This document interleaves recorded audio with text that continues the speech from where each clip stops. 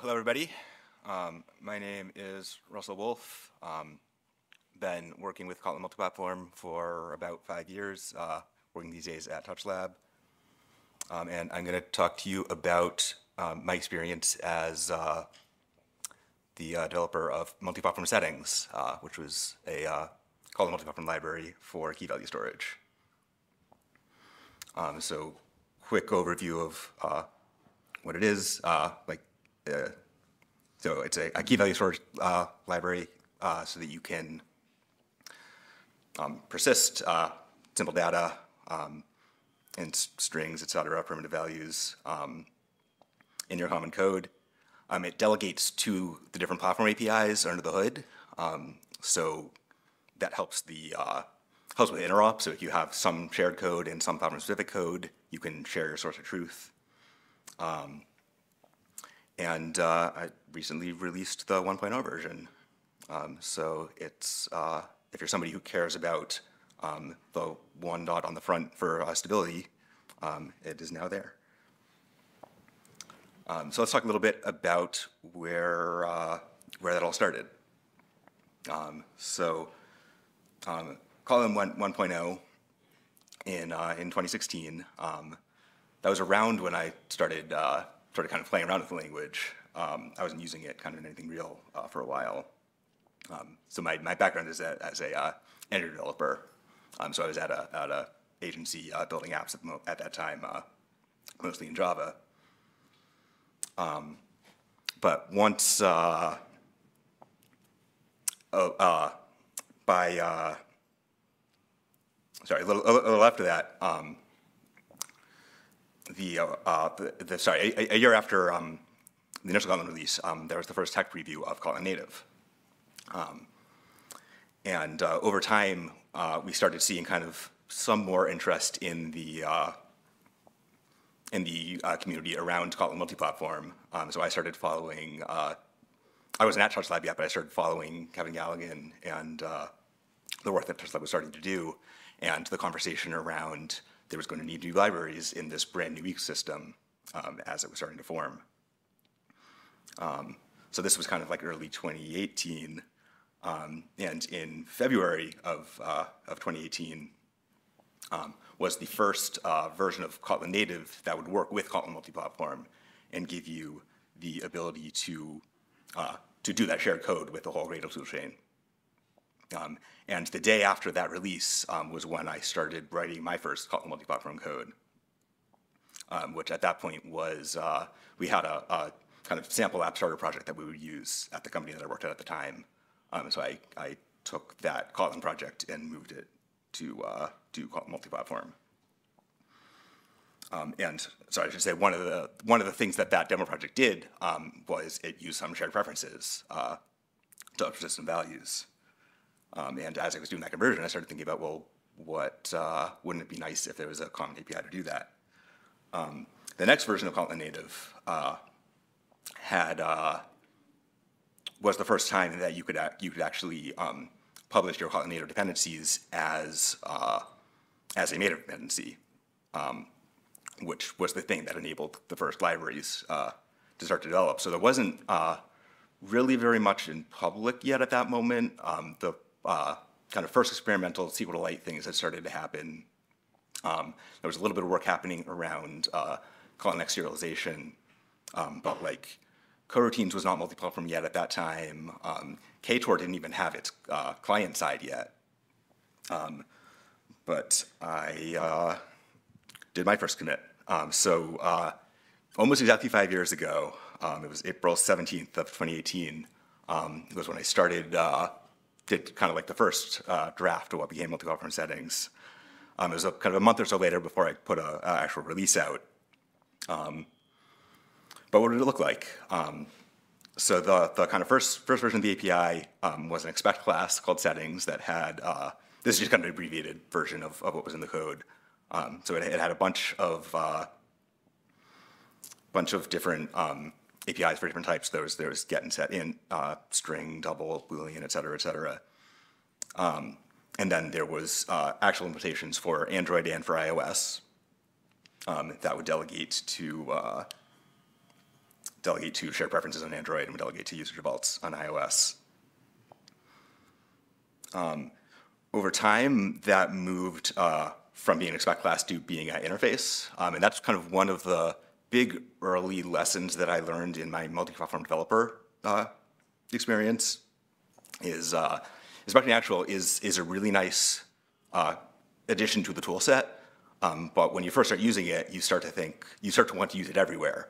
Um, and there's a lot of times where having an interface uh, can be more convenient. So I, I had uh, a couple issues uh, coming from the community uh, when the library had been around for a little bit around what if I want to try to use it on other platforms or supply my own implementation.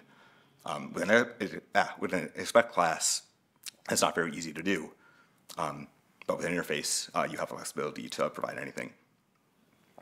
Um, so as a bit more time passed, um, added more implementations. Um, so adding a JavaScript implementation that's based around storage, um, JVM implementations based on the properties and the preferences APIs, um, Windows based on the reg registry, um, a second uh, iOS implementation using the keychain for uh, secure storage, um, and then a, a map-based uh, mock settings for, uh, for your unit tests. Um, and started adding some more, uh, some more other bits of functionality as well. Um, so the first feature request I ever got uh, was around observability. Um, so can we add a listener so that uh, you can uh, subscribe to changes uh, to your storage and, uh, and get a callback. Um, that ended up being kind of living in a separate interface um, so that because not, not all of the backend implementations have the ability to do that observability. So for example, in JavaScript, um, there actually is an API that you can use to listen to updates, but you can't do it from the same process, from the same window. Um, and so that's not, uh, not supported right now in the library. Um, another kind of bit of feedback I got from the community over time was around initialization, um, where uh, if you look at kind of these implementations we had before, um, they take the platform implementation as the platform kind of thing that it delegates to, usually as a uh, as an argument. Um, and that requires you to kind of set up your different platform-specific um, dependency injection. Um, but when you're just getting started, it's nicer if you can just call one function. Um, so that is available if that's a thing that you care about. Um, so fast forward uh, through a little bit of time, um, we start to see the ecosystem uh, evolve. Multi-platform gets bigger. I joined TouchLab. Um, and I start to see some of the platforms underneath me changing. Um, so for example, um, Google announced the data store API. Um, so what do I do with my library that's talking to shared preferences? Um, and that ended up being a particularly complicated thing to deal with because data store is all suspend and flow based, um, whereas my settings interface was all uh, was all just normal functions. Um, so what I ended up doing is adding a um, coroutine integration with some separate interfaces that can uh, that are, are coroutine forward, that are, are suspending or flow based. Um, and then it's easy to then then those can become the uh, the interface that uh, a data store implementation would support. Um, and then converts between them so that you can have a common code that uses uh, uses either the suspend or the non-suspend versions of things and converts uh, converts one to the other depending on what document you want to use. Um, another integration I added around that time um, was with the uh, serialization library so that um, you could use a, uh, if you had a more complex type that you wanted to store, um, you could apply the serialization plugin to it um, and then store, essentially use the settings store as a uh, serialization format um, and save your things into, uh, save, save your complex object into your settings store. Um, so that brings us to kind of roughly the present. Um, so in January, um, I released the 1.0 of the library. Um, so not everything is stable in 1.0. A couple of the implementations I still consider experimental, and the uh, coroutines and serialization integrations um, aren't completely stable yet. Um, but uh, as part of that, I uh, made some breakages to some of the APIs, um, which I won't go through in too much detail because I'm a little bit short on time. Um, but uh, one of the big ones was um, moving the uh, listener APIs to be um, typed. So originally, uh, observable settings, uh, you would just receive a callback uh, when your uh, when your when your value updated, um, but you wouldn't know what the value in that was. Um, and so I adjusted that uh, adjusted that API so that you have a uh, oops sorry I'm wrong thing yeah um, adjusted that so so so I, I had extension functions sorry that would do it in a typed way um, and I moved those to be in the actual interface as well in the base interface instead. Um, another fun thing that happened recently is uh, the library reached a thousand stars. Um, so I'm very grateful to the uh, just the support that got, uh, the support that I've gotten from the community. Um,